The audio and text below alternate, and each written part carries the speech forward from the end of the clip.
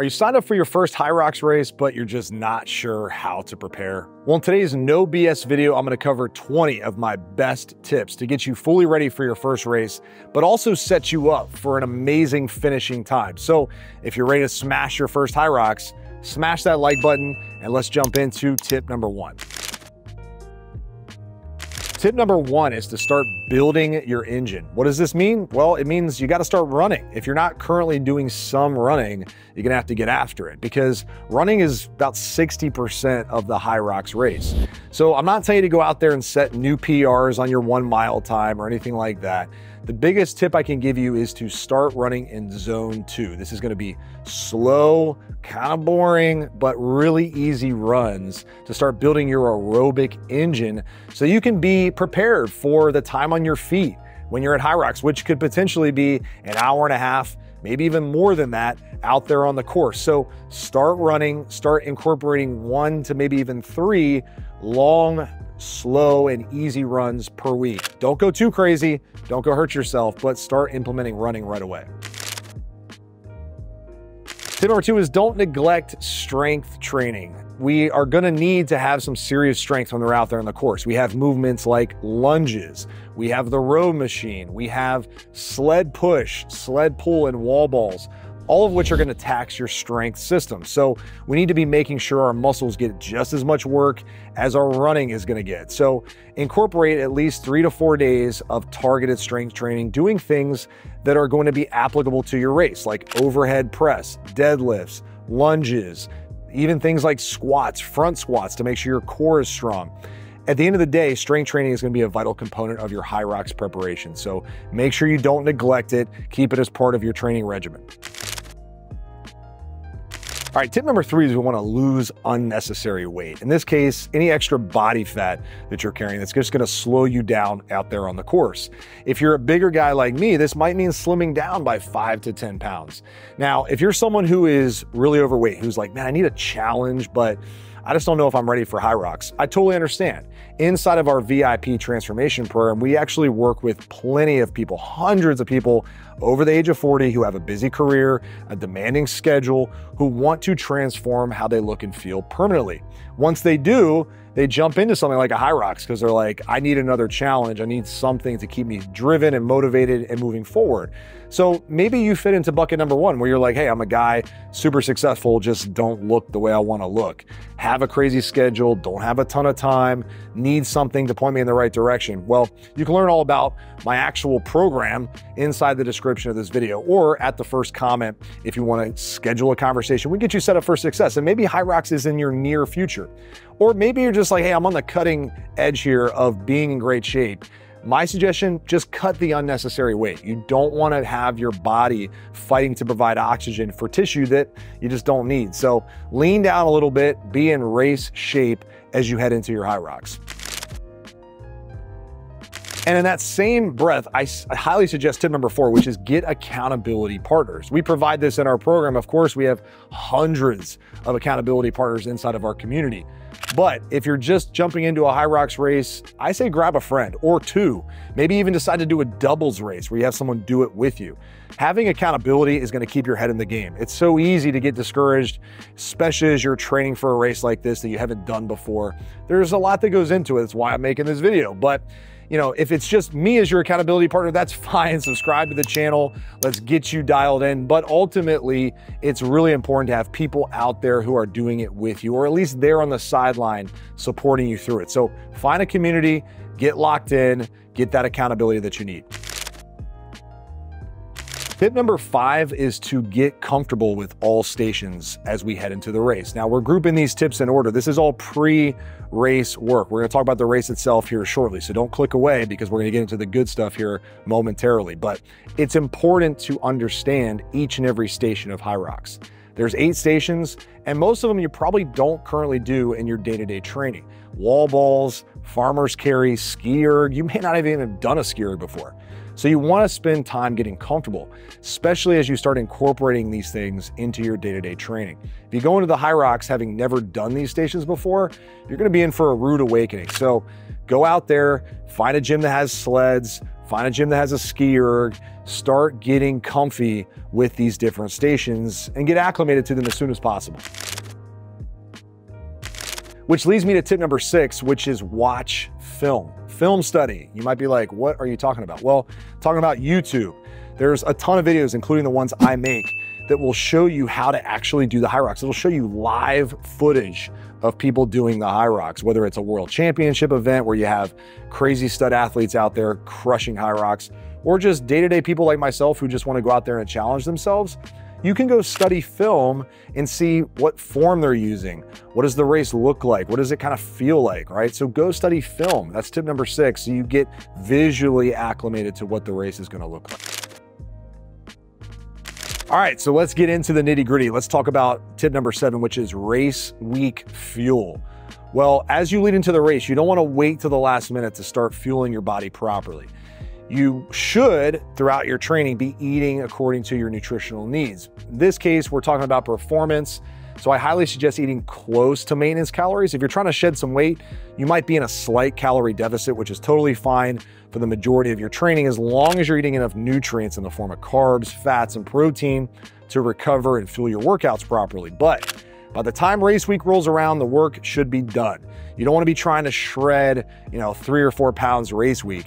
You want to be starting to carb up and making sure your body has plenty of storage of carbohydrates so that you're ready to go on race day. My suggestion is to slowly increase calories throughout the race week. Don't need to do any crazy jump ups in food, but maybe adding 5%, 10% to your day in the form of carbohydrates starting around Tuesday or Wednesday before a Saturday race is a really good idea. So that way, not only do you get a sense of how you're gonna feel well ahead of the event, but you are topping off your energy storage because there's still gonna be some workouts you do during race week. So you're gonna be burning through calories, you're gonna be peaking for your race. You don't wanna wait until Friday night, you know, when you have a Saturday morning race to start carbing up. It's too late at that point. You wanna start at least Wednesday. So that way, heading into the weekend, you have all the fuel that you need. This also goes hand in hand with tip number eight, which is hydration. So you want to be drinking plenty of water throughout your training, but especially race week. My suggestion, it's a very, very uh, basic suggestion, but I would say about a gallon, maybe a gallon and a half of water per day, along with electrolytes. So sodium, potassium, and magnesium, getting a couple servings of those throughout the day. You can use packets, things like LMNT or uh, Rehydrate, or even things like Liquid IV, all of which can provide the nutrients in the form of minerals and sodium and, and uh, electrolytes that you're going to need that will get flushed out as you start sweating throughout the week and on race day, right? So you don't want to go into your Hyrox event low on these minerals and these electrolytes. You want to make sure you're topped off as well to avoid things like cramping and to make sure you perform like an absolute beast on race day. Performance is often dictated by your hydration and your electrolyte levels. So make sure you're paying attention to those. Stay on top of that just as much as your nutrition. Tip number nine is race week sleep. So the night before a race, it's very common to not be able to sleep very well. You're excited, you're nervous, you have anxiety. You're like, what did I sign up for? I can't believe I'm doing this. So it's very common to not sleep great the night before. So don't stress. I'm not going to tell you to do anything crazy the night before. If you don't get much sleep, oh well. Do your best to get as much sleep as you can. But if you don't sleep great, that's totally normal. My suggestion is to create a sleep bank, meaning start sleeping better the week of the race. So get a little bit extra sleep on Wednesday, on Thursday, and on Friday. But then Friday night, when you go to bed and you just can't fall asleep because you're anxious and you get up way too early and you're just like, what am I doing? I got four hours of sleep. Don't worry, you bank some sleep earlier in the week so your body is ready and able to perform. So get better sleep the week of, not necessarily the night before the race. Practice race timing is tip number 10. What does this mean? Well, we don't really get our race time with Hyrox until the week of. Sometimes I get it on Wednesday, Sometimes it's not till Thursday. Sometimes I don't even see my race time till Friday. And this is just part of the game. They have a busy schedule. They're trying to put everybody in their proper place. So sometimes you'll be racing early in the day. Sometimes you'll be racing mid morning. Sometimes you'll be racing middle of the day. It just depends on what you signed up for. If you're doing a doubles event, a, a relay, a solo event, a pro event, there's so many different time slots. So my suggestion is as you set up your training, you have some race day practice, right? So you do a, a, a, simulated race that's done in the morning, first thing in the day. So you wake up, take your pre race fuel early, you go do a Hyrox sim, and you knock it out. And then you try doing it middle of the day. You know, it doesn't have to be a full Hyrox, it just could be a tough workout. Then you do it later in the day. So you're just mentally prepared for like whatever time you get. So if you're like, oh man, I've been training to get ready and do my race first thing in the morning, and then they say, oh, guess what? You're racing at 5 p.m. You're like, oh, no idea how to prep for that. Well, you've practiced, so you're ready. You know how it feels. You know what you got to do. Maybe it's a nap.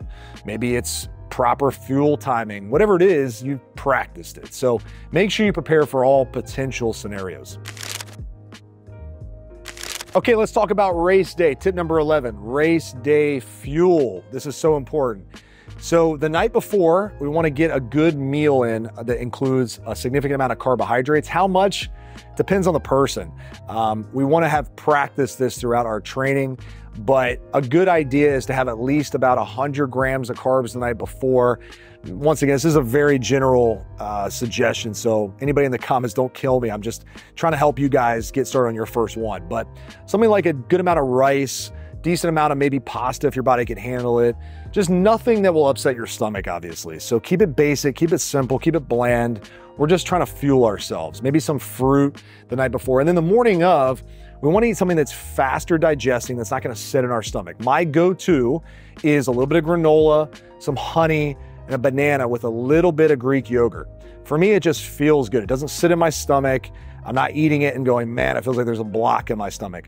You might need something even more fast digestion. You might need like a protein smoothie to go along with some fruit. Either way, we just want to make sure we're getting a good amount of fast acting carbs. So in the form of fruit, honey, things are going to be readily available to utilize in the race usually a few hours after. I like to eat a meal about three to four hours before the actual race time. And then about an hour before the race, I'll take a little bit of a gel pack that's got about 30 to 40 grams of carbs just to top me off. But leading up to the race, I have about 300 grams of carbs between the night before and the morning of. And it's all typically pretty fast digesting stuff so that it's not sitting in my stomach. Of course, I'm drinking water, I'm doing electrolytes the morning of, I'm making sure I'm topping off all energy systems so that I'm ready to go. Leading into tip number 12, which is my warm up. So don't show up at the race, you know, 10 minutes before your race time. Get there at least an hour, hour and a half before your race time. Check in, relax, drink some more water, take an energy gel, get started. And by the way, this is a good time to tell you don't take a lot of caffeine before your workout. This is a huge mistake, or before your race. Caffeine is going to ramp up your heart rate. You're not going to need caffeine. Your adrenaline is going to be your natural source of energy. If you want to maybe a cup of coffee to get things moving in the morning, that's fine. But just don't do like a crazy pre workout that's got, you know, 300 to 400 milligrams of caffeine. That's going to jack up your heart rate and it's going to put you out of your zone two really, really quickly as you start to run. Your adrenaline's going to take over and you're going to get exhausted really quick. So I don't take really any caffeine before the race. Sometimes a little bit of coffee if I wake up kind of drowsy, but I try to keep my caffeine intake at 100 milligrams or below. Let my adrenaline take over. Ice water, if you want to wake up in the morning, drink some ice water, dunk your head under some ice water. Like that'll get you going really quick. And then just think about the race. And you're going to be jacked up. Listen to some good music. Utilize your body's natural systems to get amped up. So the warm up. So we want to spend at least 30 minutes warming up for the race.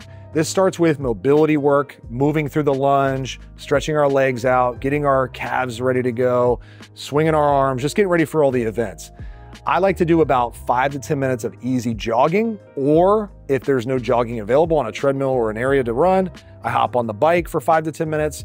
Then I'll just go through each station, just one by one. Do a little bit of ski erg, do a little bit of the sled push, a little bit of a pull, just to feel out the movements. I just want my body primed, right? It's like just getting it lubed up and oiled up, ready to go. It's a terrible analogy, but you get the point. So we're just trying to get primed mentally and physically for the task that is laying ahead of us. So you've done the work, relax, warm up for 30 minutes, get your heart rate up a little bit, then hit the starting line.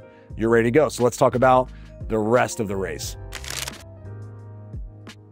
Tip number 13 is start slow to finish fast. Pretty much 99% of people who start a Hyrox are gonna fly out of the starting gate, right? They're sprinting around those first couple laps. They're excited, the crowds goes wild. You're like, oh my gosh, I'm actually here. And everybody around you is just flying. So you're trying to keep up right? Now, if you're a pro in the game and you know Hyrox, obviously you wouldn't be watching this video, but if you're someone who's maybe done other races and you're like, I kind of know my pacing and stuff, just be careful here, right? Because let me tell you, I've raced tons of high Hyroxes at this point. I've raced against guys that fly out. I mean, I lose sight of them right away. And by the halfway through the race, I'm lapping them, right? Because they just spent their energy way too soon. Start slow. You can always pick up the pace.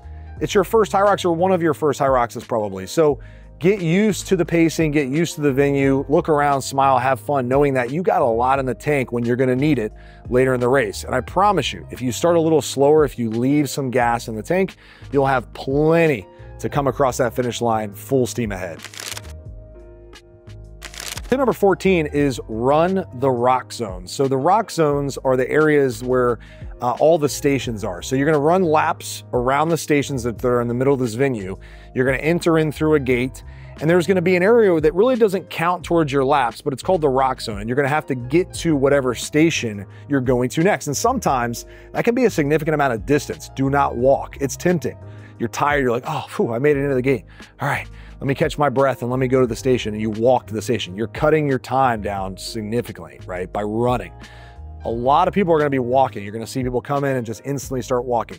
Jog to your station. When you're done with your station, jog out of the Roxzone. I promise this will make a huge difference in your finishing time. I've seen this be the difference between finishing, you know, a hundredth place and finishing top 20. For real. Like this could be five to six minutes of time off your time. So run the Roxzones. Remember that. As soon as you enter that gate, don't stop running. You can maybe slow down if you're a little tired and you want to catch your breath before a zone, or if you've just finished a zone you're like, oh my gosh, that was tough. Hit the jog, and you can always pick up the run as you get into the actual laps. Tip number 15 is the first station, the ski erg. This is another one where I see guys just hammer it, right?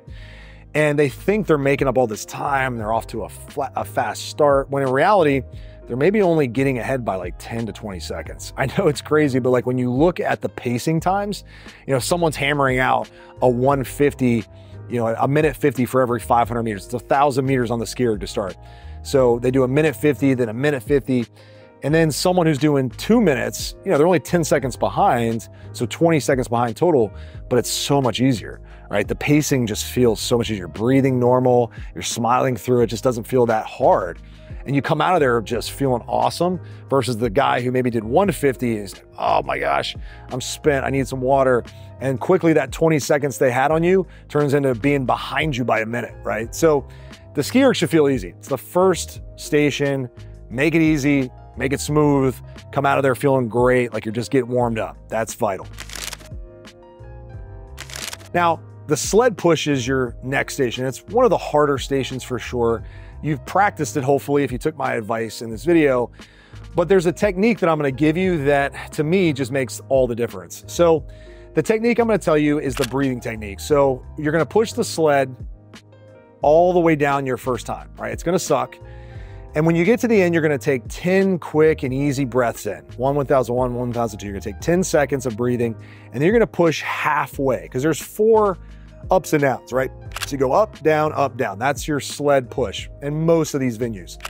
So you're gonna go all the way down, you're gonna take 10 seconds to breathe, you're gonna push halfway down, and you're gonna do another 10 seconds, right? Then you're gonna push halfway, you do 10 seconds. So instead of stopping and taking what people feel like is 10 seconds, but in reality it's like a 30 second break, it's a 40 second break, you're taking a quick 10 seconds to catch your breath every half way down each lap, all right? So to recap, you're gonna do one full push, It's gonna feel tough. You're gonna be like, oh my gosh, that was brutal. You're gonna take 10 seconds, you're gonna push halfway. 10 seconds, halfway. 10 seconds, halfway. 10 seconds, halfway. Now, if you don't need the 10 seconds, cool. Then I'm just giving you too much rest and that's fine. You can take five seconds. My whole point is don't gash yourself out. It's only station number two. Don't be a hero and think you gotta just push unbroken for four laps. If you've trained for it and you can handle it, don't let me stop you. But I've seen so many guys try it and they come out of there and they can barely walk to go get water. And the next thing you know, all that time they thought they made is completely gone because they didn't take tiny little breaks. They keep their energy system in check. So the sled push can be a killer. Manage it properly. Now, I'm not gonna give you all the tips on sled pull because there's many variations you can utilize to pull the sled. Uh, there's plenty of videos out there that you can find on the sled pull. But the one tip I will give you is after the sled pull, which is station number three, jog, take some water. Okay, we want to stay hydrated. At this point, you're three runs in, you're three stations in. So your body is losing electrolytes, it's losing hydration. So take some water after the sled pull.